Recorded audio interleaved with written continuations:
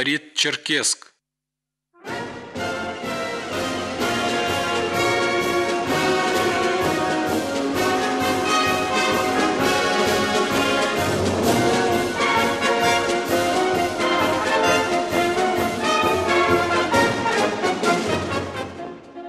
В эфире специальная программа «Мы этой памяти верны», посвященная 72-й годовщине Победы в Великой Отечественной войне и в студии ее автор и ведущая Рита Нерова.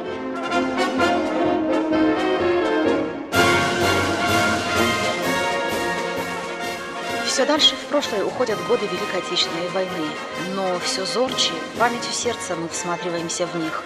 Для нас эти годы не просто история – 1418 дней войны ярким факелом полыхало пламя патриотизма советских людей. И каждый из этих дней свидетельствовал о величии духа, несгибаемом мужестве человека, для которого нет священнее долга, чем отстоять независимость отчизны. Памяти павших, памяти вечно молодых солдат и офицеров, оставшихся на фронтах Великой Отечественной войны, посвящается. Славным ветеранам Великой Отечественной войны, победившим и подарившим миру жизнь и счастье посвящается.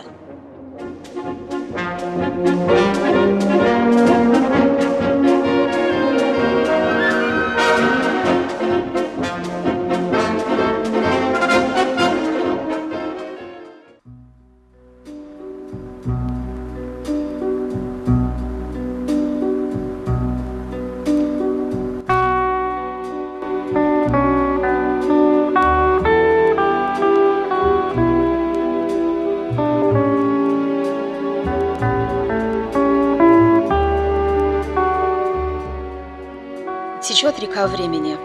72 года назад была одержана победа в Великой Отечественной войне.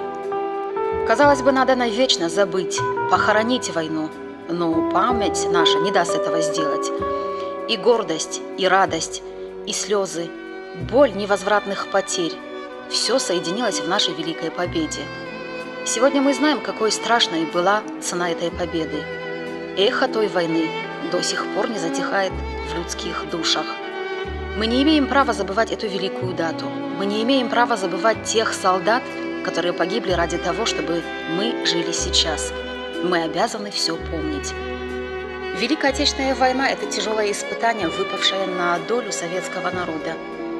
Как изменила она судьбы, сделала короткими жизни многих мальчишек и девчонок, разрушила светлые мечты 17-летних, которые прямо с выпускного бала ушли из детства в эшелон пехоты в санитарный взвод. Что толкало на это вчерашних мальчишек и девчонок? Видно, для этого поколения пришел час, когда она должно было взять на себя ответственность за Родину, за все на свете.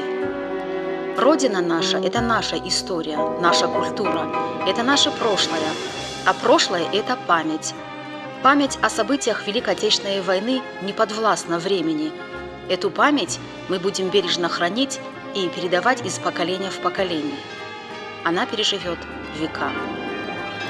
Именно Великой Победе мы обязаны мирному небу над головой, сохранению и возрождению духовности России. День Победы – это и повод задуматься о будущем России. Главный урок той страшной войны очевиден.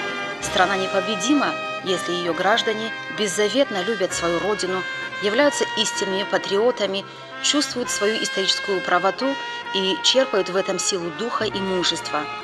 Сегодня мы, дети, внуки и правнуки ветеранов, участников войны, низко кланяемся вам за мужество, стойкость, терпение и беспредельную любовь к отчизне и горячую веру в победу.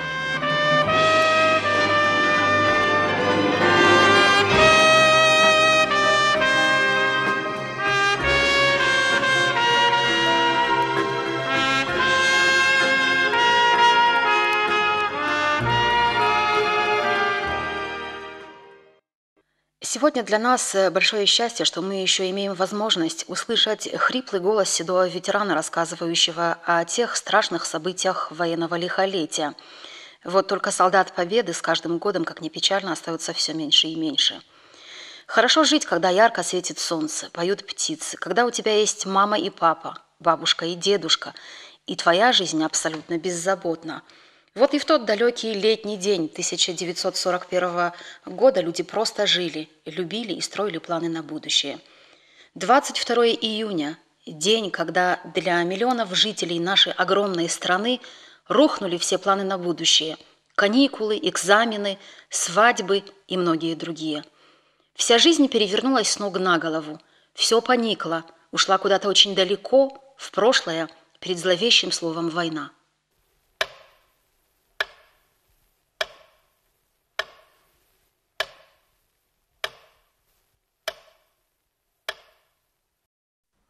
Внимание! Говорит Москва. Передаем важное правительственное сообщение. Граждане и гражданки Советского Союза.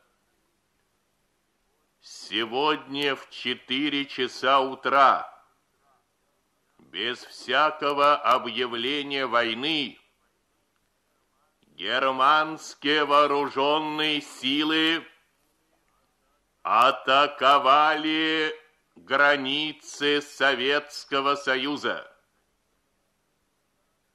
Началась Великая Отечественная война советского народа против немецко-фашистских захватчиков.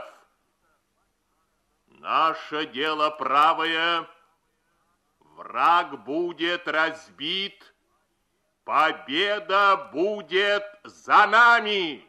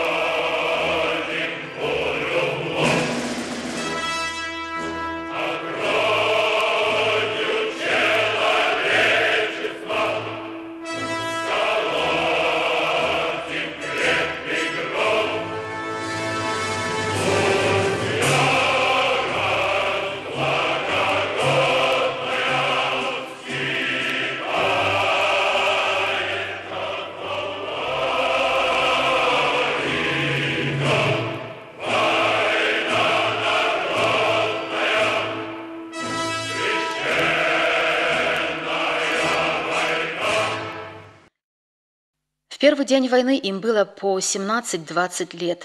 Из каждых ста ребят этого возраста, ушедших на фронт, 97 не вернулись назад. Только представьте себе, 97 из 100. Вот она война. Никто из бойцов тогда не знал, доживет ли до рассвета, увидит ли синее небо, услышит ли пение птиц, суждено ли ему пройти всю войну и вернуться домой. Но мужество и отвага не покидали их. Мысль о том, что дома их любят и ждут, согревала, придавала решимости идти в бой и защищать Родину. Светом благодарной памяти, светом любви нашей, светом скорби нашей пусть озарятся имена павших. Вспомним три года, десять месяцев и еще восемнадцать дней – 26 миллионов 452 тысячи жизней унесла Великая Отечественная война. Вспомним тех, кто бился за врагом на фронте, кто воевал в партизанских отрядах, кто страдал в фашистских концлагерях. Вспомним тех, кто без сна и отдыха трудился в тылу. Вспомним о деревнях, сожженных дотла, о поселках, стертых с лица земли. Вспомним о сотнях городов, разрушенных, но не покоренных – Проходят годы, десятилетия, сменяются поколения, но разве можно придать забвению подвиг воинов, защитивших нашу жизнь? Война – это бесстрашие защитников Бреста, это 900 дней блокадного Ленинграда, это клятва солдат ни шагу назад за нами Москва. Это добытая огнем и кровью победа под Сталинградом, это подвиг героев Курской дуги, прорыв голубой линии, освобождение Новороссийска и Таманского полуострова – Великая Отечественная, самая народная и поистине самая священная из войн на земле, навсегда останется великим уроком человеческого мужества. Низкий поклон вам, мужественные солдаты Великой Отечественной. Живите долго и счастливо. Пусть будет мирным наше небо, богатыми поля, полноводными реки. Пусть здравствует и процветает многонациональная наша Родина. Накануне этого поистине святого праздника свои искренние поздравления жителям Карачаева-Черкесии, дорогим ветеранам Великой Отечественной войны и труженикам тыла направили глава Карачаева-Черкесии Рашид Темрезов, спикер парламента Александр Иванов и председатель правительства республики Аслан Озов. Уважаемые земляки, дорогие жители Карачаева-Черкесии, примите самые искренние, самые теплые поздравления с Днем Великой Победы, говорится в тексте первых лиц республики.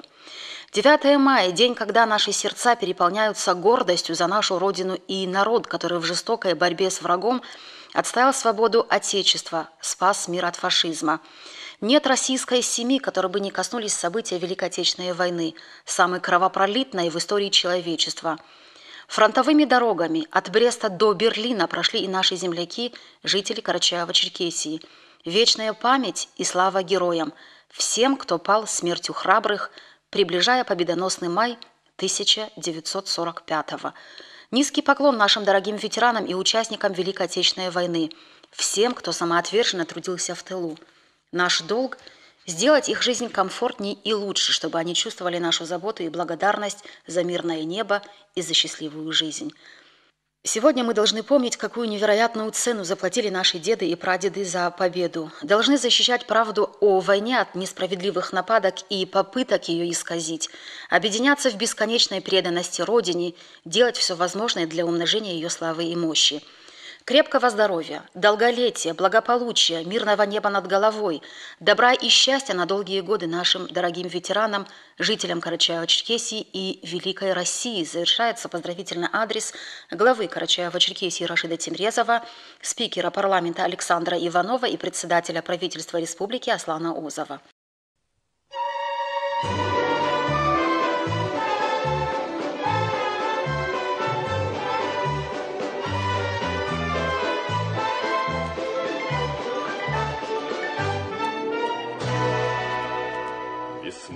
Сорок пятого года, Как ждал тебя синий Дунай, Народом Европы свободу Принес жаркий солнечный май.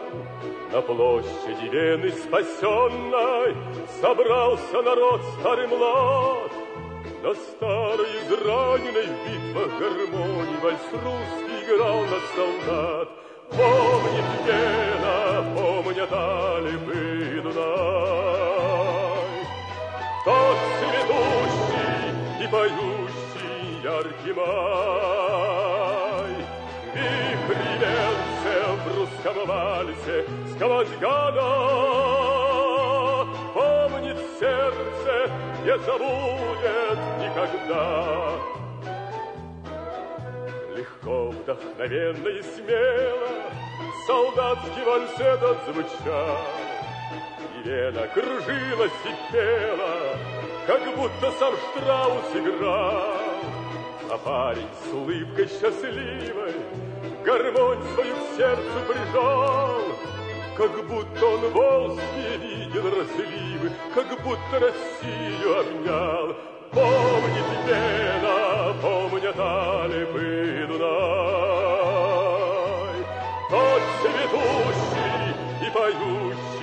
яркий май.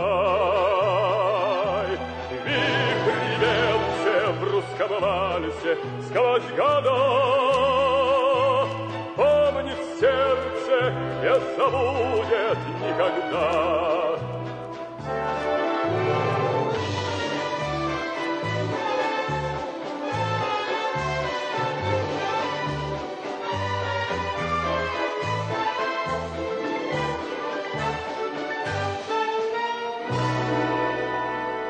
Над Веной седой и прекрасной Плыл вальс полон грез и огня. Звучал он то нежно, то страстно, И всех опьяняла весна. Весна сорок пятого года, Так долго Дунай тебя ждал. Вальс русский на площади Вены свободной Солдат на гармонии играл. Помни, Вена, помнят Алипы Дунай. Тот цветущий и поющий яркий май. Вихрь льется в русском вальсе сквозь года. Помнит сердце, не забудет никогда. Помнит Вена, помнят Алипы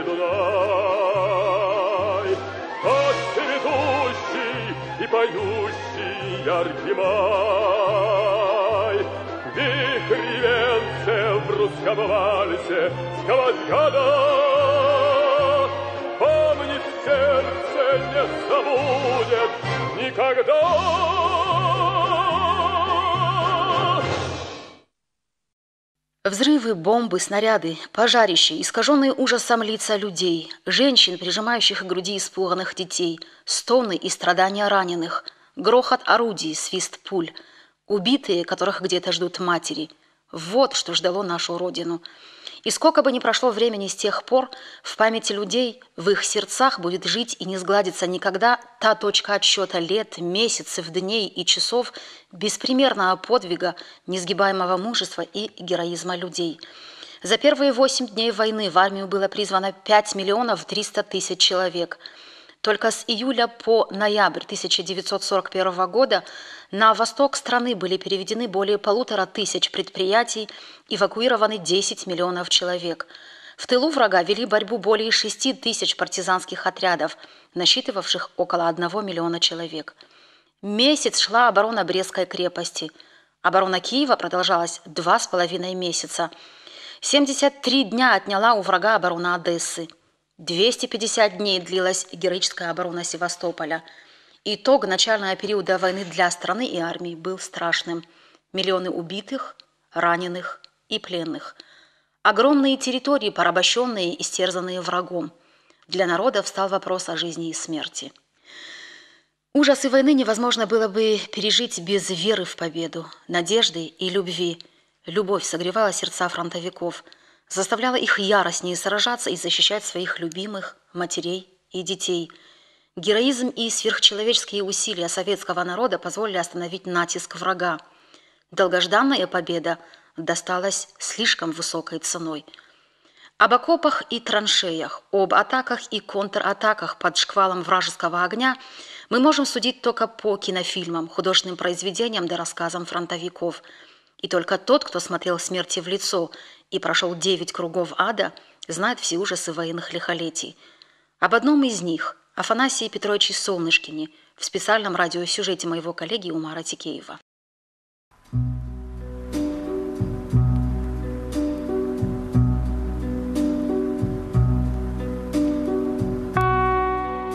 В годы Великой Отечественной войны мир был потрясен небывалым в истории человечества подвигом советского народа. В суровых военных условиях, под постоянными обстрелами и бомбежкой, когда люди умирали тысячами, народное сопротивление не прекращалось ни на минуту. Советские люди, сплотившие в единое целое, встали на защиту своего Отечества. В те суровые годы военного лихолетия в рядах Красной Армии было немало наших известных земляков. Герой нашего следующего сюжета, ветеран Великой Отечественной войны Афанасий Петрович Солнышкин, ныне живет в Черкеске. Встреча с Афанасием Петровичем оставила в душе неизгладимые впечатления. Во-первых, с первых минут нашего разговора и вплоть до его завершения, это более часа, Афанасий Петрович, как и положено военному, сидел, гордо выпрямив спину, и отвечал на многочисленные вопросы, листая как книгу историю своей жизни. Немного суровый, в то же время достаточно веселый и общительный человек, казалось бы, имел представление практически обо всем – Рассказывая о своем боевом пути, не раз применял в своей речи многочисленные военные термины. Его память хранит не только места боев, передвижений войск, но и имена и фамилии своих боевых товарищей, с которыми бок о бок прошел войну. Родился он в станице Каликовской Наурского района Чечено-Ингушской республики 20 января 1920 года в семье рабочих. Успел окончить семилетнюю школу, был призван в армию, а затем фронт. Мне тогда еще совсем юному парню пришлось нелегко, вспоминать ветеран, как, впрочем, и другим моим товарищам. Шли бои за города и села, мы ожесточенно воевали с ненавистным врагом, ведь выполнить задание и защитить родину нужно было любой ценой, говорит Афанасий Петрович. Призвался в армию в 40 году, по станицам казаков готовили к армии. Я готовился, на коне пошел в Ростов. Ростов, с Ростова нас направили белорусский военный округ Белосток. С Белостока в Польшу. И нас смена. Этих увольняли. В Терские, Кубанские, Донские казаки. Дивизия это была. В польских казармах служил я. Выехали на занятия, это зимой дело, февраль месяц. Ну и я там голосовые святки простыли. В Белостоке там лечили меня, а потом уже в 42 год война уже шла. Я поздоровел. И я, брат, меня призвали в армию, я попал в училище в Орджоникидзе. Я проучился более двух месяцев.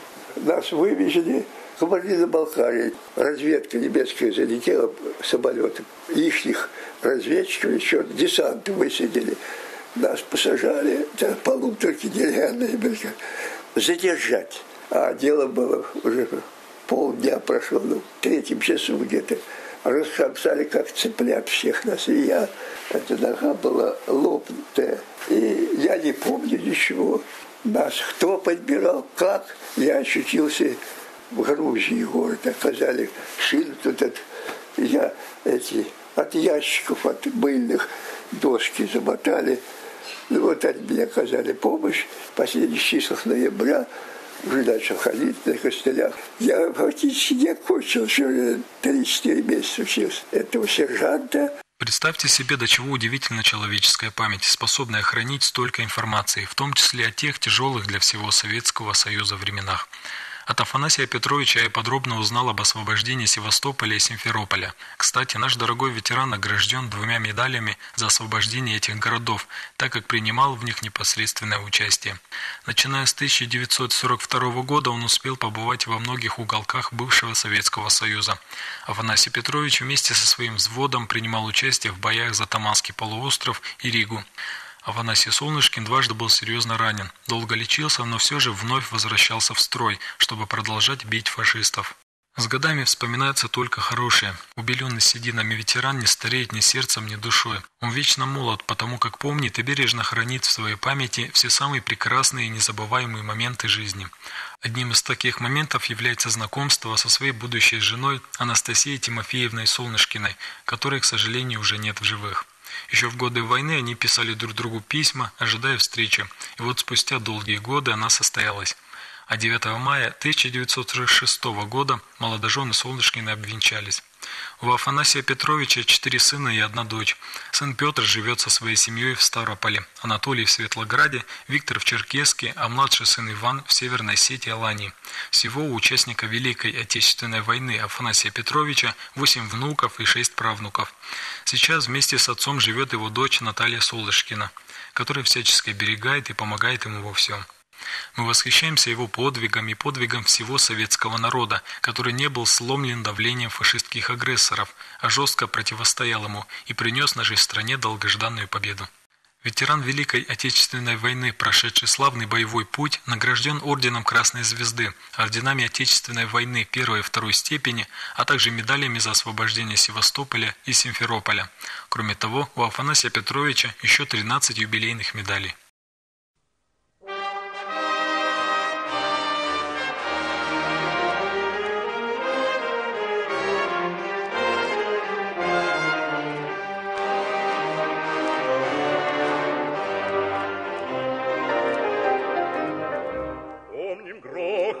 заноют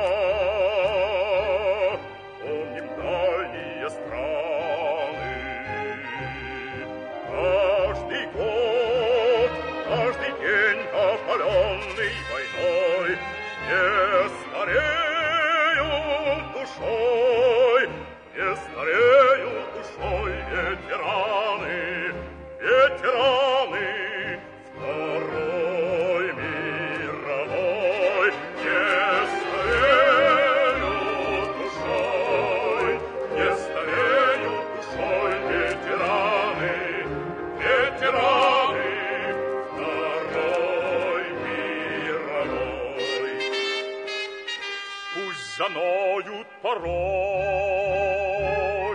наши старые раны. Мы к победе, друзья, шли дорогой крутой, не стареют душой, не стареют душой ветераны, ветераны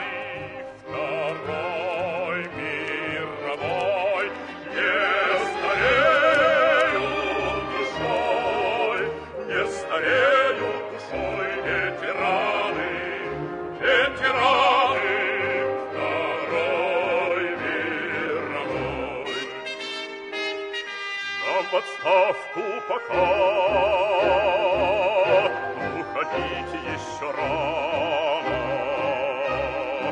Не сдаются сердца, им не нужен покой. Не стареют душой, не стареют душой ветераны, ветераны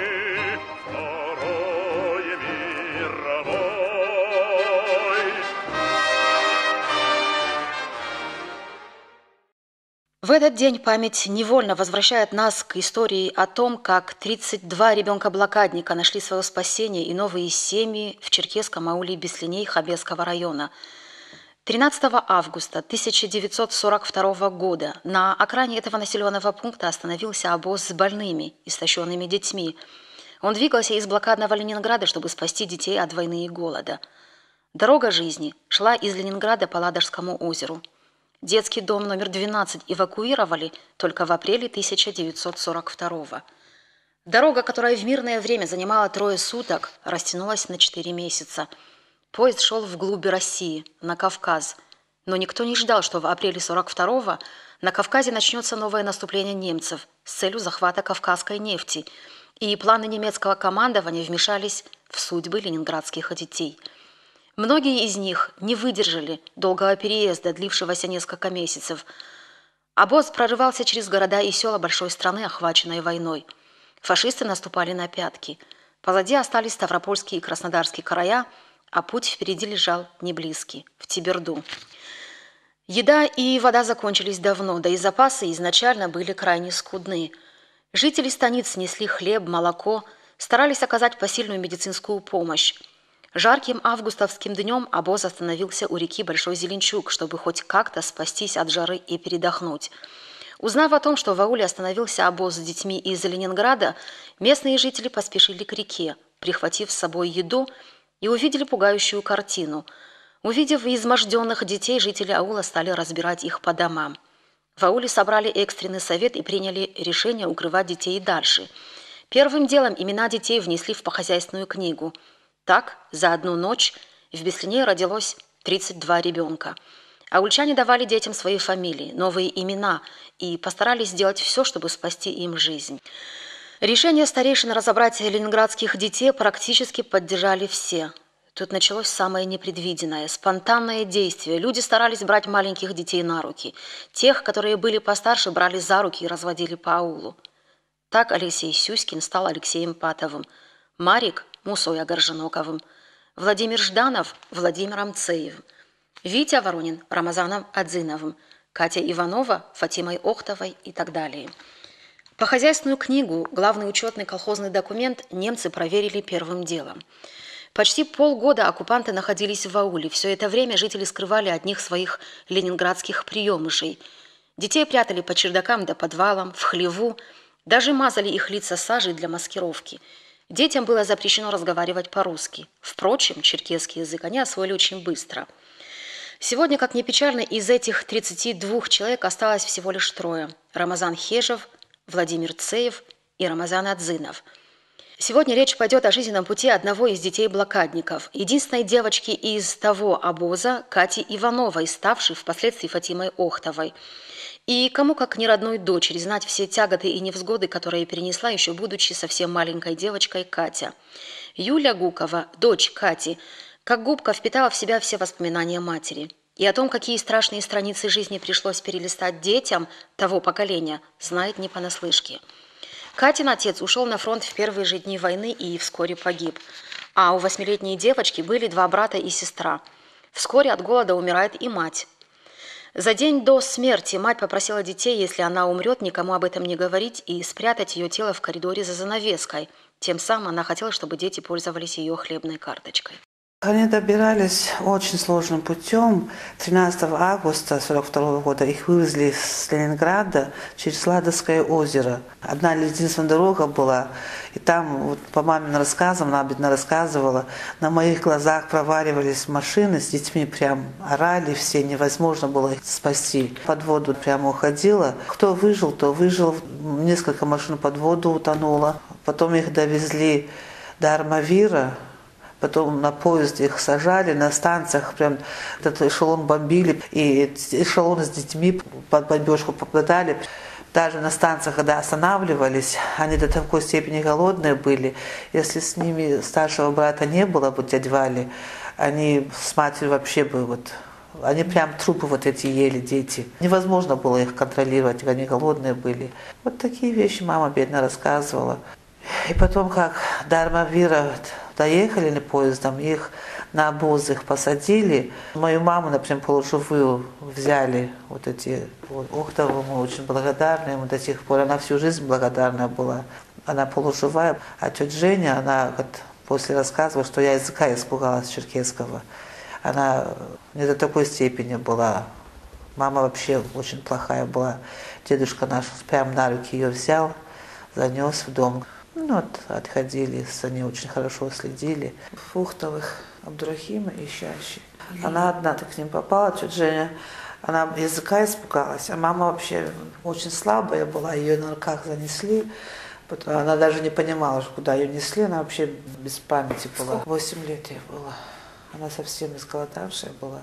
А тетя Женя, она на два года младше ее, в Черкесом попала, говорила всегда. Она всю жизнь благодарна им была, всю жизнь. А тетю Женю наверх повезли в Исправинском, ее там воспитали. Потом как-то через некоторое время друг друга нашли. Дядя Валя приезжал, вот как я рассказывала. Родная сестра моей мамы. Ее русские воспитали, а мою маму черкесову. Последняя живая, она сейчас на Кавказском поселке с дочерью живет. В постельный режим уже у нее ногу повредила, лежит.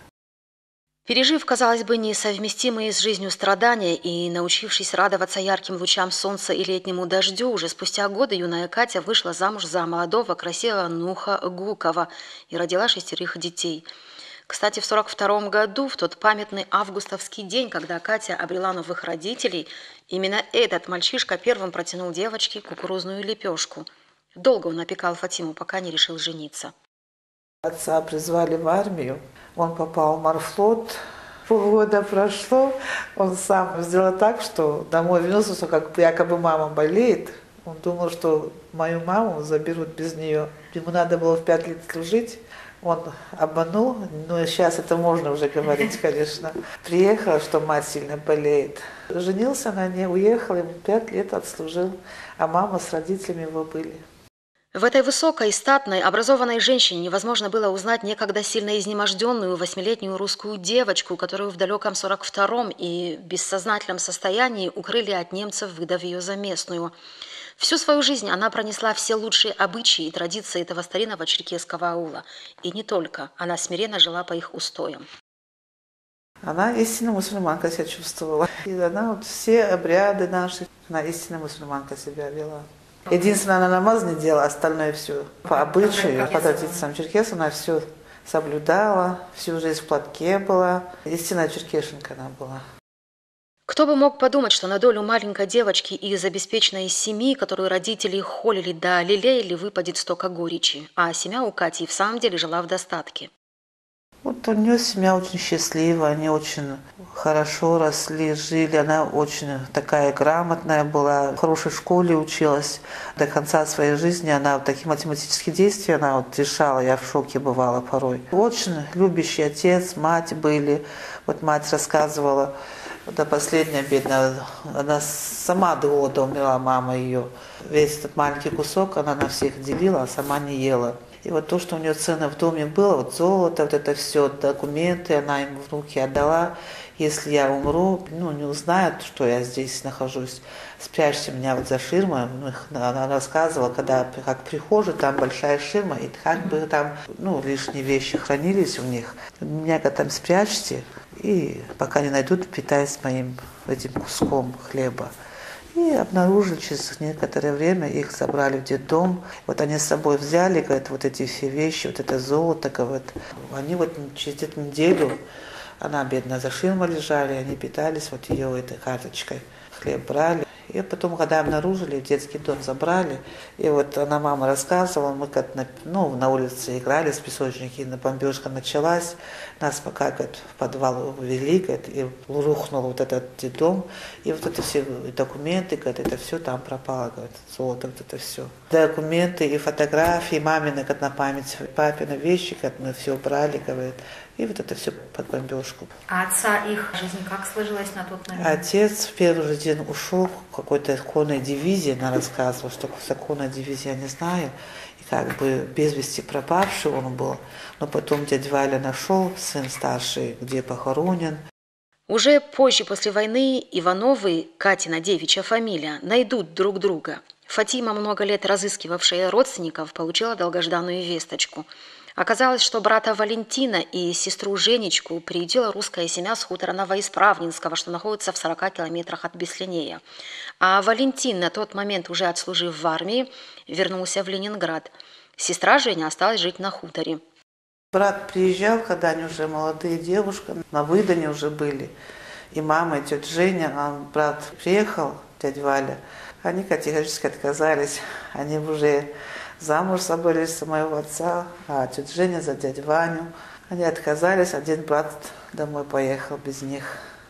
Вспоминая, как мать ездила в Ленинград, Юля рассказывает случай, когда Катя пошла в Эрмитаж. Когда вот в Эрмитаж она ходила с теткой, она была ходили с дядей, вот, э, с отцом, все ходили, смотрели. Она как-то возле одной, где посуда была, остановилась возле какой-то вазы, говорит, у меня, как все детство, все перед глазами прошло, говорит. У нас так точно такая же, как ваза в детстве была. Точно такая же ваза, как в Эрмитаже у нас, точно такая же, как ваза была, рассказывала. Это тетя Люба рассказала вот этот случай достатке жили. Отец как спокойно, мать спокойно была, очень любящие родители как были, дети мы очень дружные как были. А дядя Валя с мамой вообще копии одинаковые они были, это внешне. Тетя Женя, она чуть поменьше, но она тоже с матерью. А вот который старший брат Иван был, вот он во время войны, когда завод эвакуировали, он с этим заводом, в Урал его увезли, он там же и остался, там и жил. Мама с ним переписывалась, посылки ему посылала, денежные переводы делала. Последний раз, когда я помню посылку, он получал обратно, что он уже умер. Посылку обратно передали. Общались они очень. Даже мы, дети, Валей переписывались. Он открытки разные нам присылал, посылками всякие вещи присылал. Общались они все дружные были. Две родины, Ленинград и Карачаево-Черкесия, оказались не только у Кати Ивановой и остальных 31 блокадника. Наша республика стала отдушиной и для сына Катиного брата, который переехал жить из Санкт-Петербурга в Черкесск. Не зная ни традиций, ни обычаев, ни менталитета жителей многонациональной Карачаево-Черкесии, он решил переехать поближе к своим двоюродным. Ну, это такой случай был. У меня племянник старшей сестры, он в Турции учился – он в совершенстве и английский, и турецкий языки знает. И вот эти турецкая фирма, когда они узнали, что он там учился, его пригласили в эту фирму переводчиком работать. И мы в Ленинграде они были, и он согласился. И там он к Саше пошел в гости. Он очень хорошо рисует Саша. И студентам помогал делать рефераты, вот это все. Он очень хорошо рисовал, тогда он как бы себя это сам обеспечил. Потом как-то он чуть повзрослее стал, и работы у него не было. И э, мой племянник Рустамчик, он содержал его и деньгами. Заезжал, навещал? Заезжал, навещал, постоянно продукты возил. И как-то они сблизились, он все время говорил с Рустам, мой сын. Он на Кавказ боялся вообще приезжать сюда. Думали, что тут варвары, а не кавказцы и как-то мы его пригласили, он, так, он не думал, что вся родня, оказывается, здесь живет. И он говорит, давайте, когда я квартиру продам, в черкесской квартиру куплю. Продал здесь квартиру, купил, среди нас живет. Тут такая судьба. 9 мая – это не только праздник тех, кто своей кровью ковал Великую Победу, а еще и тех женщин, которые в далеком, но страшном 42-м спасли детей от фашизма и воспитали их настоящими людьми – эта любовь и благодарность будет жить в наших сердцах всегда, становясь годами сильней и сильней. У войны было горя так много, Что никто никогда его след не сотрет. Не дождем, а слезами омыта дорога, Где война оставляла сирот. И пусть память звучит во времени все пронзительней, все сильней. У беды нет ни рода, ни племени, это знает аул Беслиней. У беды нет ни рода, ни племени, это знает аул Беслиней.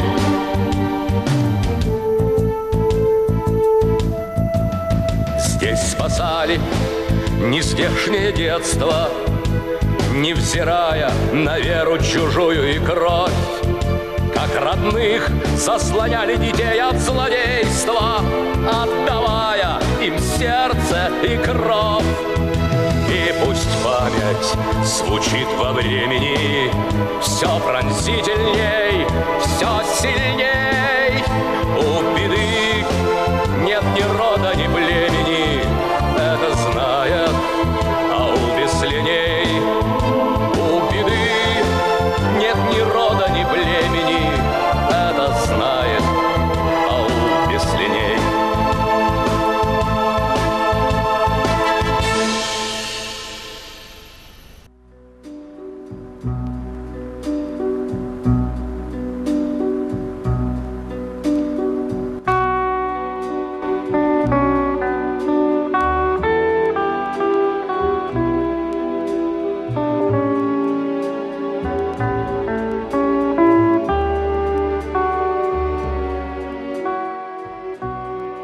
бы ни минуло десятилетий, нельзя забывать о превращенных в пепел городах и селах, о гибели бесценных памятников культуры и о самой главной и невосполнимой утрате – 27 миллионах человеческих жизней, сгоревших в пожаре Великой Отечественной войны.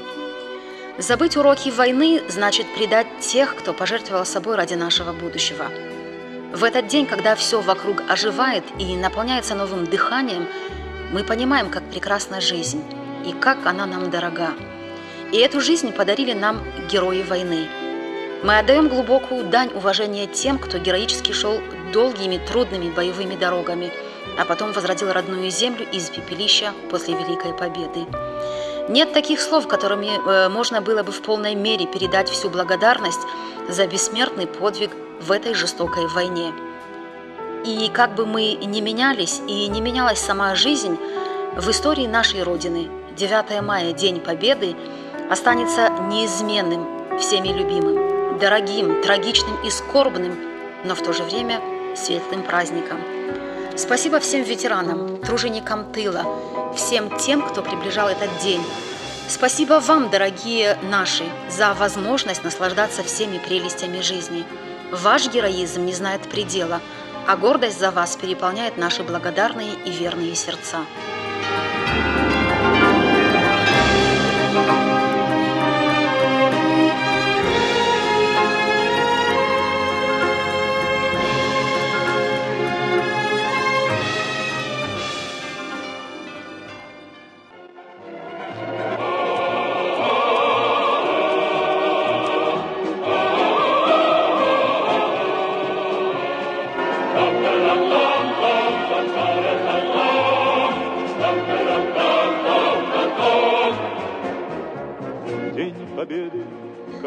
Специальная программа «Мы этой памяти верны», посвященная 72-й годовщине Победы в Великой Отечественной войне, подошла к своему завершению.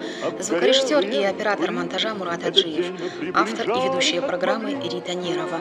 Мы с вами прощаемся. Желаем хорошего праздничного дня и мирного неба над головой. Это праздник сединою на висках,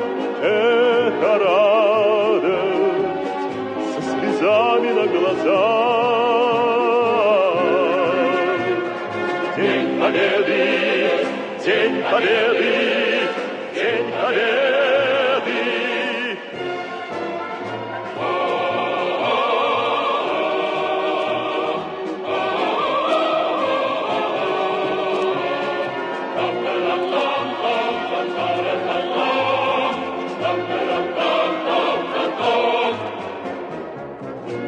Ночи у мартеновских печей Не смыкала наша Родина очей. Ни ночи битву трудную вели, Этот день мы приближали, как могли, Этот день победы порохом пропах.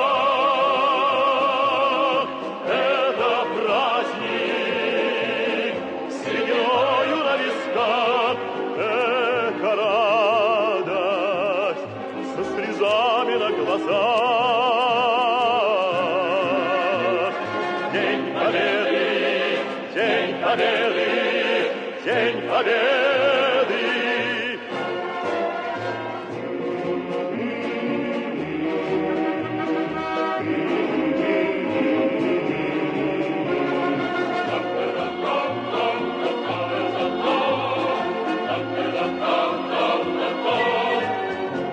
Здравствуй, мама, возвратились мы не все, Босиком бы пробежаться по росе. Пол Европы прошагали, пол земли, Этот день мы приближали, как могли, Этот день победы. Порохом пропах. Это праздник